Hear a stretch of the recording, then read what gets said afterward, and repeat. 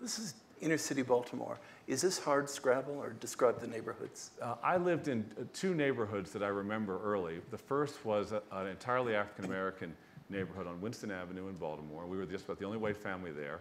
And it was great. It was a normal neighborhood and we had a good upbringing and things were fine. 1968, Martin Luther King was assassinated, Bobby, King was, Bobby Kennedy was assassinated, and my dad's mother passed away. And those three factors ended up sort of precipitating my parents' separation and divorce. We moved across town, maybe a mile, to an entirely all-white neighborhood, into the house that my grandmother had lived in before she passed away. In that neighborhood, everybody around us was working for Bethlehem Steel or at Sparrows Point uh, or uh, McCormick Spices.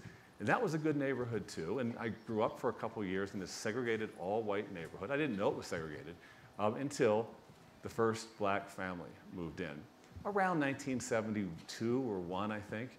Um, and they were, it was a doctor from Kenya with his wife and two little girls.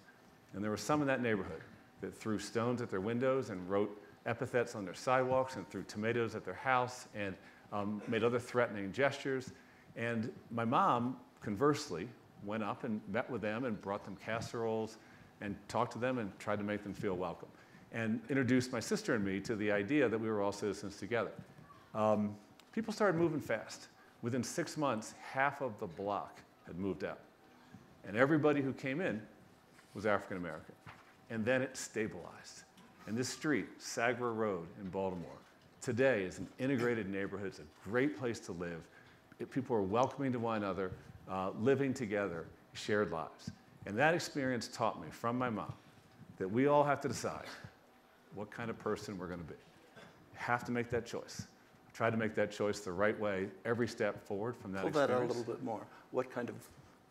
Well, you know, I really think, I really think that for those of us that have the privilege of being born in America white, we have to make an active choice. What kind of a white person am I going to be?